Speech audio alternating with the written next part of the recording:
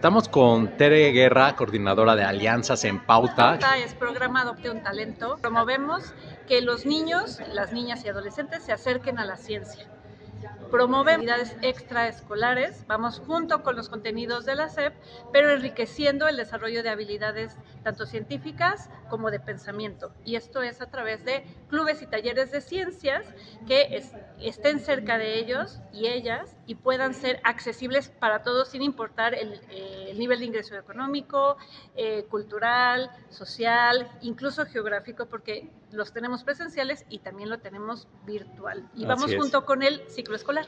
Buenísimo. Y justo estamos en, la conferencia de prensa de Vesta Challenge, un evento de ciclismo con causa que es en Querétaro el 20 de octubre de este 2024, con tres distancias que es la de 106 kilómetros, la de 65 kilómetros y la de niños desde 3.5 kilómetros. Y el 100% de las inscripciones de este evento de ciclismo va para fundaciones y ustedes son una de esas fundaciones que, apoyadas por Vesta. ¿Cómo es que, se ven beneficiados con el apoyo de Vesta Challenge, una iniciativa de la empresa Vesta? Gracias a Vesta pudimos abrir la sede de Querétaro. Eh, a través de Vesta podemos financiar estos clubes y talleres de ciencias para niños y niñas de entre 4 y 18 años, es decir, de preescolar hasta bachillerato, eh, en escuelas públicas. Entonces, de esta manera se puede financiar toda la formación de sus docentes, eh, todos los materiales y los recursos que utilizan, así como la, el seguimiento y la evaluación, para que ellos puedan experimentar la ciencia, se vean y descubran eh, el mundo que les rodea, se puedan preguntar y responder todo aquello que pues, los niños curiosos de su edad eh, se preguntan y sobre todo encontrar en la ciencia un, un medio de solución a los problemas que encuentran cotidianamente y quizás una vocación. Ok, qué interesante. ¿Y cómo es eh, el detalle de un taller o de un club? ¿Qué hacen y qué temas ven o qué, qué viven, qué experimentan los chavos? Bueno, como lo dije, vamos con el ciclo escolar, entonces estamos arrancando ahorita.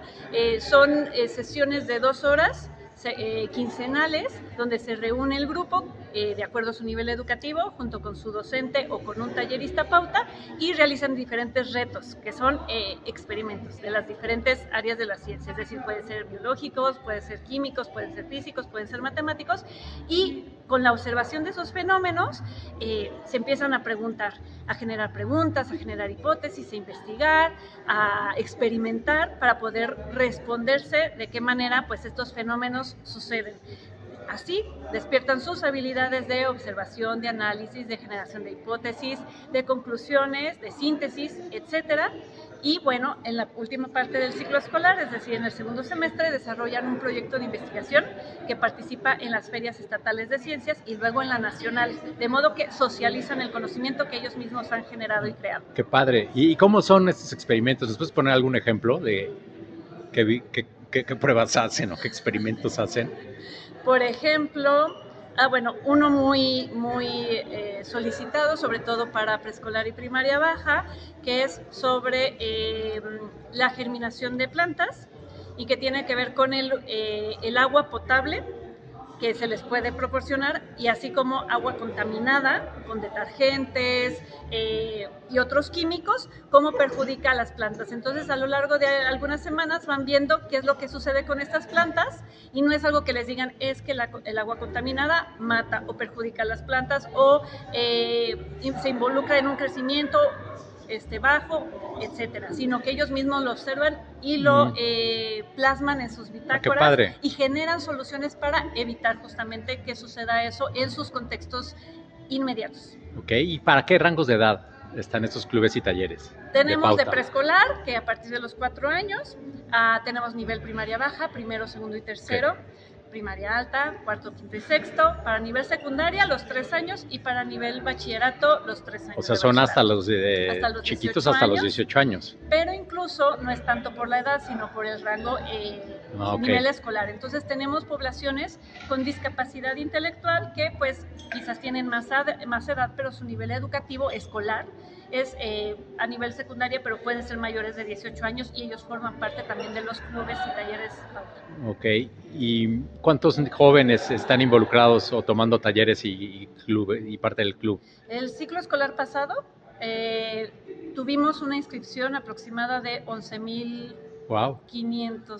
En todo el país. Niñas y adolescentes de todo el país, de los cuales eh, 6.000 y fracción hicieron proyectos de investigación. Wow, qué padre. Y además es una, una iniciativa que nace de la UNAM, ¿verdad? Así es. Sí, surgimos hace 17 años en la UNAM gracias a dos físicos nucleares del Instituto de Ciencias Nucleares que dijeron cómo fomentamos estas vocaciones científicas y pues es a través de este programa extraescolar.